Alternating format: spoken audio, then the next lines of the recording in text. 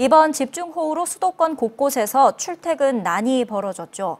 지하철과 도로 통제 상황이 시시각각 변하는 만큼 빠르게 정보를 알았으면 좋았을 텐데 쉽지 않았습니다.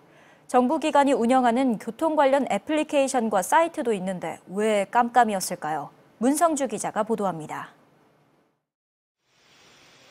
폭우가 쏟아졌던 8일 밤 지하철 7호선 이수역은 물이 가득 차 열차가 서지 않고 무정차 통과했습니다. 신림선 서원역 역시 침수로 무정차 통과했지만 시민들은 갑작스러운 변화에 당황했습니다. 신림선 탔는데 서원역 패스하고 좀 20분 정도 늦었던 것 같아요. 정차하고 이래가지고. 못 들었어요. 아예 몰랐고 그냥 나오니까 약간 침수돼 있고 이래가지고. 이외에도 지하철 1호선과 4호선, 9호선 등의 일부 구간이 운행 중단됐고 올림픽대로와 강변북로 등도 일부 통제되는 등 수도권 교통이 마비되면서 시민 불편이 컸습니다.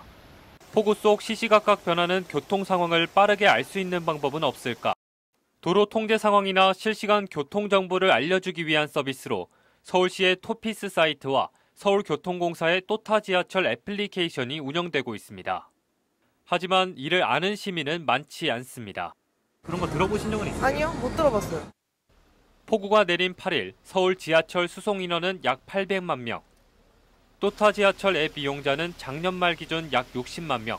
그러니까 무정차 통과와 같은 정보를 빠르게 접할 수 있는 인원은 이용자의 최대 7.5%에 불과합니다. 더군다나 스마트폰 애플리케이션은 정보 약자에 해당하는 고령층에겐 접하기 어려운 대상입니다.